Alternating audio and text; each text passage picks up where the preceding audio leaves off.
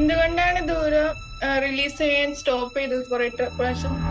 നല്ല പേടിയാണ്. Shooting camera bad mood ഉള്ള ഒരു എൻവയോൺമെന്റ് പഠിത്തം കുറച്ച് നാളത്തേക്ക് സ്റ്റോപ്പ് ചെയ്തിട്ട് കുറേ വേറെ പ്രശ്നങ്ങളുണ്ടായിരുന്നു. ആക്ടിങ് എന്റെ എന്റെ മനസ്സിൽ കൂടെ പോയിട്ടില്ല. ഒരു കോൺഫിഡൻസ് ഇല്ല.